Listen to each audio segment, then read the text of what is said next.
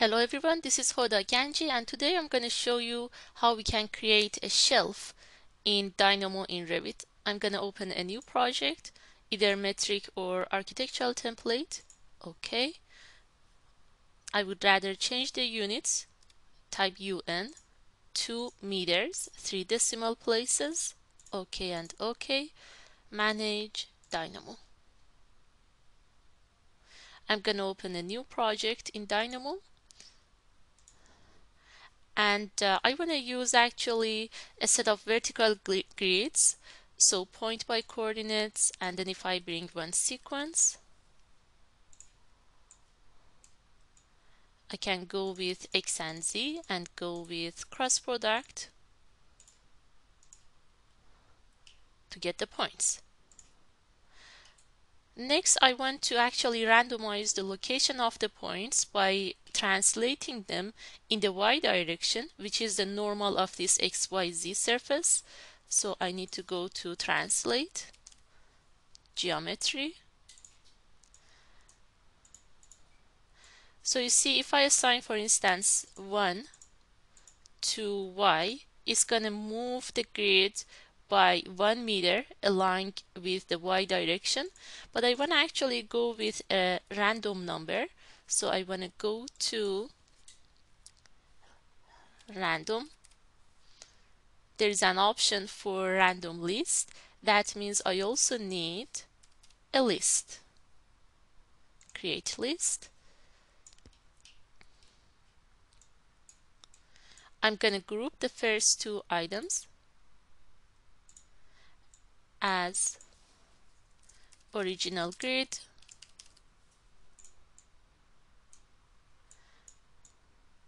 I want to bring one number slider or maybe integer slider.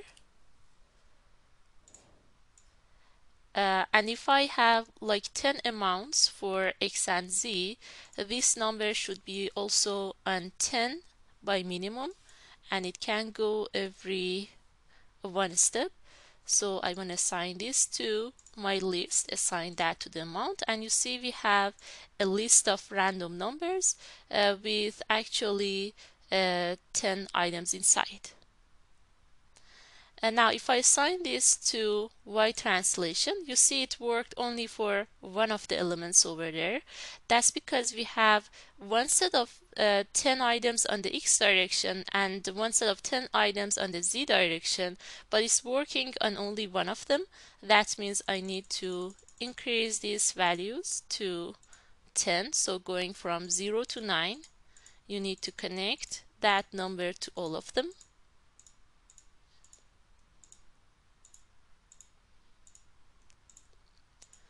And now you see we have randomized number uh, because we have a list within a list and we have 10 items within each of the 10 lists. That means we have 100 elements uh, for the numbers. And you remember that we also had 100 elements because of the size of the grid.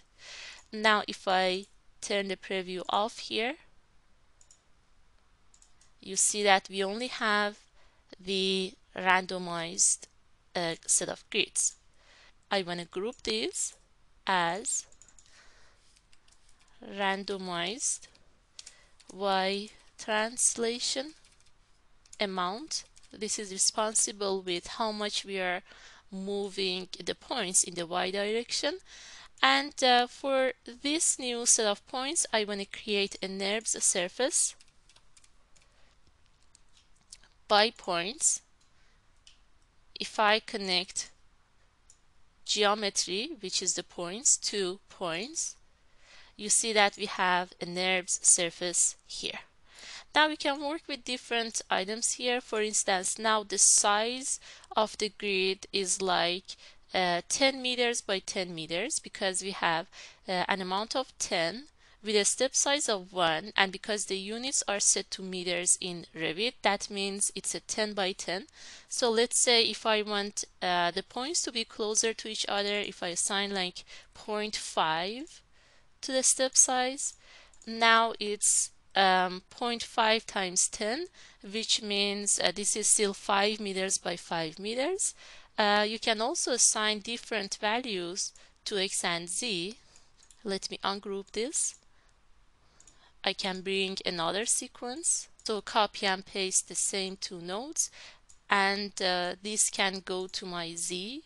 And now I have individual control over X and Z. For instance on the Z side, uh, maybe I can change this value to like uh, 0.75 uh, also you can work with the amount values. Let's say maybe on the uh, z direction I want to have 8 elements instead of 10 and on this direction I want to have only 6 instead of 10 so now this is uh, 6 by 0.5 that's 3 meters. And this one is 8 by 0.75 uh, which is like about uh, 6 meters in height. You can still work with the values. Feel free to go with uh, smaller values for the step size for instance if I change this to 0.4 it means the points are going to be closer to each other uh, so we can work with all these numbers. We can also use number sliders instead of code blocks to have more flexibility. I'm going to group these again as original grid. Also, it seems that some of the numbers here are too exaggerated when moved in the y direction. So we can um, divide the numbers by like some values larger than 1 and then assign this to the y translation and you see this is now a little bit more fluid a little bit um, less exaggerated okay?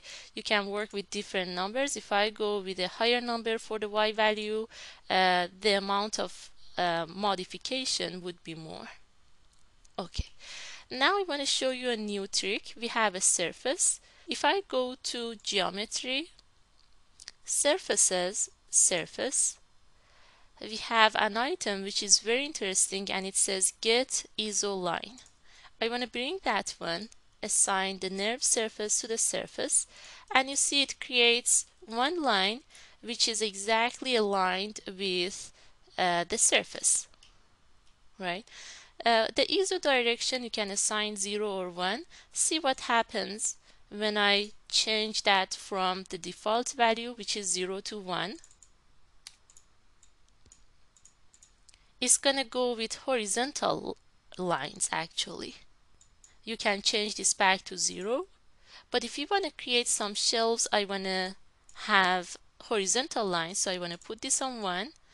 Uh, also under parameter the default value is zero. See what happens when I change it to like 0.5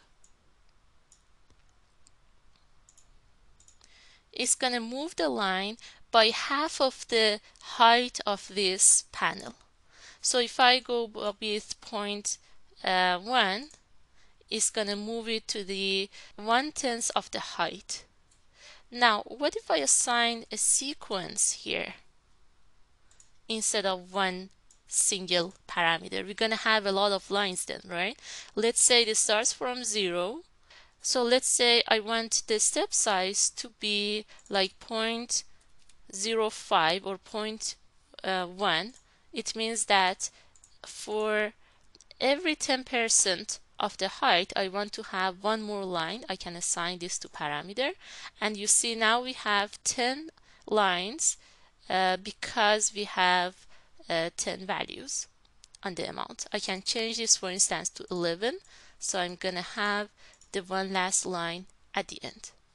Uh, so if you are asking what's the the height difference between the two lines, we need to check the height because the height is reading from here 0.75 times 8. The height of this shelf is actually 6 meters. If I change this to like 0.5 by 8, it's going to be now 4 meters. That makes more sense. And now this is 10% of 4 meters, uh, which is um, 40 centimeters. Uh, the difference between the height between the lines is 40 centimeters, which is perfect for a shelf. So now I have some iso lines. Maybe I could also hide the NURBS surface. I just wanted the lines to create some shelves. and uh, I can go with thicken curve how much do I want to thicken that? By the width of the shelf let's say maybe it's 30 or 35 centimeters. I need to assign a normal. Let's see what happens if I assign the z-axis to the normal. That seems good. Now uh, this is exactly what I wanted. These are my shelves.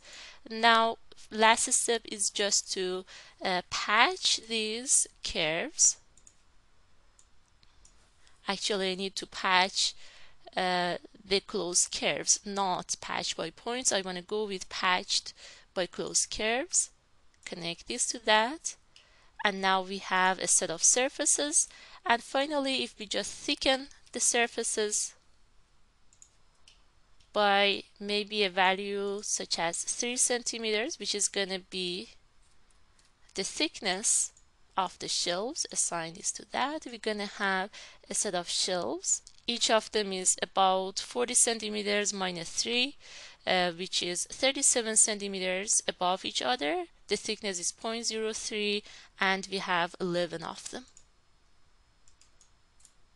Uh, now each of the values you change here, you're going to see that uh, in the final product. For instance, if I change the amount of this value, which we use to divide the randomized number and assign it to y, if I increase that number, it's going to be a little bit less exaggerated, you see. Uh, you can work with very different things. You can change the height from here. You can change the thickness of the shelves. Maybe they are thicker, maybe they are 4 or 5 centimeters and uh, you can also hide everything else that you don't want to see here uh, such as the grid which is this one I can make it a little bit organized by grouping the items uh, for instance here I want to group these four items as my NURBS surface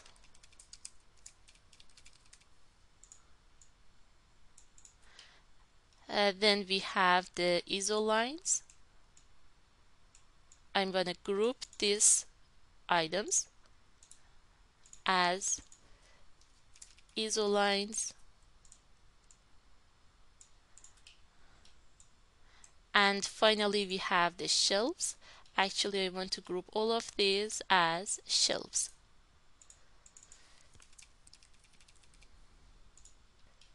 it seems all good. If you want to import all of them back to Revit, you can just put import, uh, maybe geometries, connect this to that. I can go to my Revit. And you see we have the shelves here. And if I go to manage object styles, go to imported objects, the material is here. You can go with some dark wood for the shelf material I want to create a new material rename it as wood which is dark maybe I can go to the asset browser I can type wood. You can go with uh, very different woods that we have here. We have more options if we click on these items. We have walnut. That should be interesting. Maybe I could go with walnut. I can assign some color to graphics. If I put this now on shaded or realistic, uh, this is how uh, the file is going to look like by the end.